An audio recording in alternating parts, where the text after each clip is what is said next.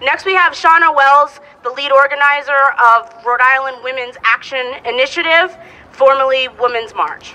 Hi, everyone. Good to see you all. Thank you for coming out. Um, I'm not the lead organizer. I am an organizer. I am one person. Good. I am raising my voice. Every person here is raising their voice. You can be an organizer. You can be an activist. We all need to be organizers and activists now.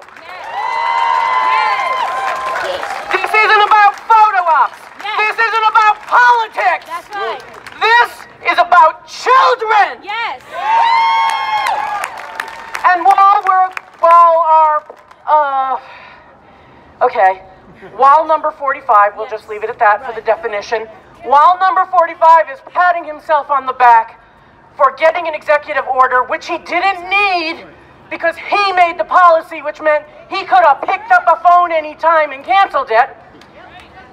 And aside from what uh, Aaron just said about, okay, now the kids can be with their parents, but they'll still all be in jail indefinitely. Indefinitely. And what about the 2,500 who are there now?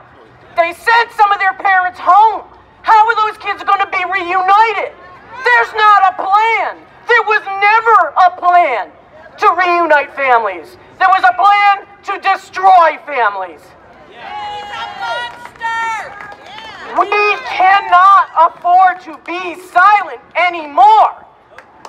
If you wondered what you would have done if you had been in Germany in 1940, if you wondered what you would have done the Native Americans were being killed and their land taken, if you ever wondered, huh, I wonder how I would have reacted in a major crisis in our country and in our world, now's your chance to find out! That's right.